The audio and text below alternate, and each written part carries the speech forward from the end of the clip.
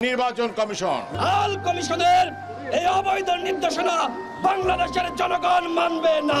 এই দেশ যুদ্ধ করে আমরা বানাইছি। প্রয়োজনে সিইসির ঘরে গিয়ে মিছিল করব।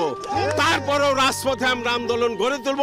এই নির্বাচনকে করে এই যে ক্ষমতা দখলের যে স্বপ্ন দেখছে তাদের সেই স্বপ্নকে আমরা দুঃস্বপ্নে পরিণত করব। আমাদের রক্ত থাকতে যান জমান থাকতে আমরা এই প্রাচনের নির্বাচন হতে দেব না। সারা দেশে শান্তি। রক্ত থাকতে সাত জানুয়ারি নির্বাচন সফল হতে দিবে না বলে হুঁশিয়ারি দিয়েছে নুরুল হক নুর রাশেদ সহ বিরোধী দলের বিভিন্ন অঙ্গ সংগঠনের নেতারা। নুরুল হক নুরু বলেছেন যে জীবন থাকতে তারা এই সরকারের গদি টিকিয়ে রাখতে দেবে না। তারা যে কোনো ভাবেই হোক এই সরকারকে ক্ষমতা ছাড়া করে ছাড়বে। এই সরকার একটা স্বৈরাচারী সরকার। এই সরকার জনগণের রক্ত চুষে চুষে নিজেদেরকে আরও শক্তিশালী করছে। কিন্তু আমাদের রক্ত থাকতে এক বিন্দু জীবন থাকতে আমরা তা সফল হতে দিব না। বন্ধুরা বিএনপির নেতৃত্বে চৌষট্টিটি দল একত্রিত হয়ে বড় ধরনের আন্দোলনের প্রস্তুতি নিচ্ছে। তবে ধারণা করা হচ্ছে নির্বাচনে জিতে গেলেও হাসানের উপর আমেরিকা প্রতিশোধ নিতে ভুলে যাবে না। তো যাই হোক বন্ধুরা চলুন বিস্তারিত ভিডিওতে দেখে আসি।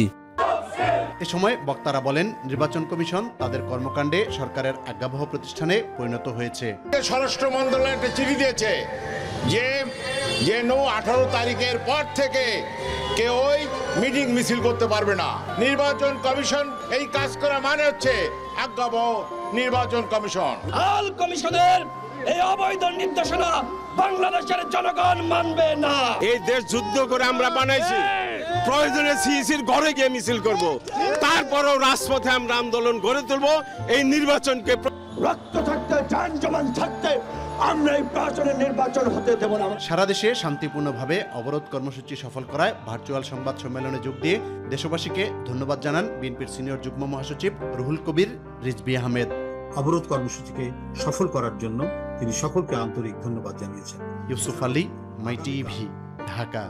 শহীদ রাশিয়া বলছে যে যে করে হোক হাসিনাকে ক্ষমতা রাখতে চায় তারা, কিংবা তারা কখনো বাংলাদেশের ওপর হস্তক্ষেপ করবে না, যেমনটা আমেরিকা করছে। রাশিয়া চায় বাংলাদেশের জনগণের সরকার প্রতিষ্ঠিত হোক। রাশিয়ার কথায় কতটুকুই বা ভিত্তি আছে? যেখানে বাংলাদেশের সমস্ত মানুষ চায় এই সরকারের পতন। সেখানে তাদের তো আর এটা বোঝার বাকি নেই যে, এই দেশে কোন সরকারকে চাইছে এই দেশের জনগণ। কিন্তু উল্টো রাশিয়া এই জনগণের বিরুদ্ধে গিয়েই শেখ হাসিনার পক্ষপাতিত্ব করছে। তো বন্ধুরা, চলুন বিস্তারিত জানা যাক।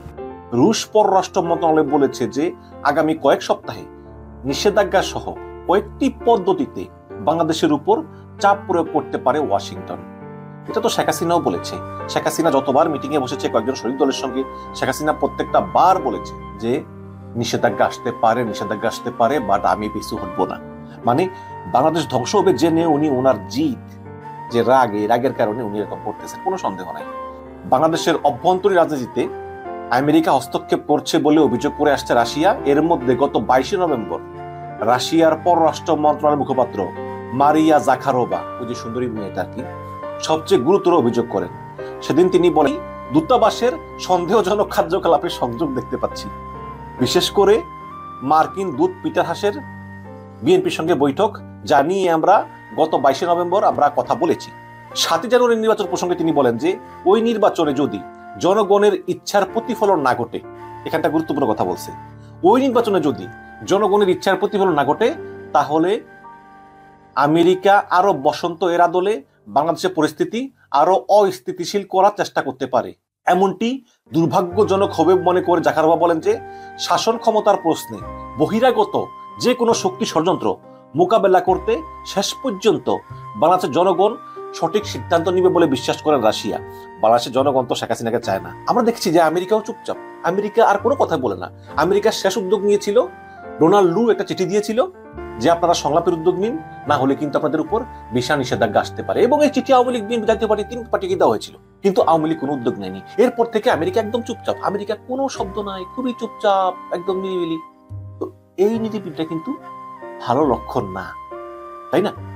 এবং এই আব্দুর রাজ্জাক আওয়ামী লীগের যে সভাপতি মন্ডলীর সদস্য আব্দুর রাজ্জাক খাদ্যমন্ত্রী, তিনি নিজে স্পষ্টভাবে বলেছেন আজকে চ্যানেল টোয়েন্টি ফোরে যে যদি আমরা তাদেরকে গ্রেপ্তার না করতাম, তাহলে এখন পর্যন্ত আমরা থাকতেই পারতাম না ক্ষমতায়।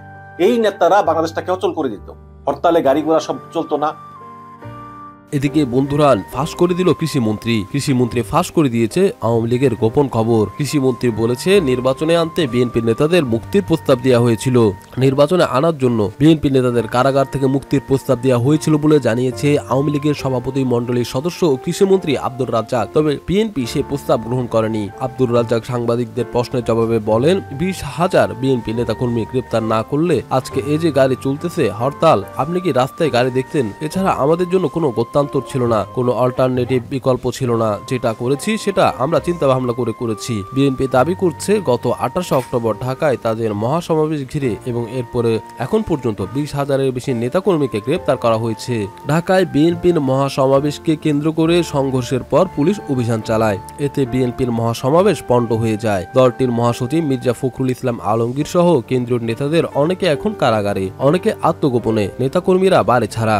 আদালতে একের পর এক মামলায় বিএনপির নেতাকর্মীদের সাজা হচ্ছে। সাড়ে চার মাসে অন্তত সাতষট্টি মামলায় এক হাজারের বেশি নেতাকর্মীর সাজা হয়েছে। বিএনপি ও যুগপত আন্দোলনে থাকা দলগুলো এবং ইসলামী আন্দোলন নির্বাচন বর্জন করছে। বিএনপিকে নির্বাচন আনতে সরকার চেষ্টা করেছে বলে উল্লেখ করেন আব্দুল রাজ্জাক। একটি সাক্ষাৎকারে তিনি বলেন, বারবার বলা হয়েছে নির্বাচন কমিশন থেকে তার যদি নির্বাচনে আসে, নির্বাচন পিছিয়ে দেওয়া হবে এবং পিছিয়ে দেওয়া নয়। বলা হয়েছিল তাদের জেল থেকে ছেড়ে দেওয়া হবে। এদিকে বন্ধুরা, যশোরে বাম জোটের নির্বাচন অফিস ঘেরাও কর্মসূচিতে পুলিশের বাধা। প্রশাসনের নির্বাচনী তাফসিল বাতিল ও তদারকি সরকারের অধীনে নির্বাচন সহ বিভিন্ন দাবিতে বাম গণতান্ত্রিক জোট যশোরের নির্বাচন অফিস অভিমুখে বিক্ষোভে মিছিলে বাধা দিয়েছে পুলিশ। দুপুরে মিছিলটি শহরের উকিলবার মোড়ে আইনজীবী মিলনায়তনের সামনে পৌঁছলে পুলিশ আটকে দেয়। এ সময় বিক্ষোভকারীদের সঙ্গে পুলিশ সদস্যদের কথা কাটাকাটি হয়। এক পর্যায়ে মিছিলটি ঘুরিয়ে নিতে বাধ্য হন বিক্ষোভকারীরা। পরে যশোর সার্কিট হাউসের সামনে পথসভার মধ্য দিয়ে বিক্ষোভ কর্মসূচি শেষ হয়। এ বিষয়ে পুলিশের বক্তব্য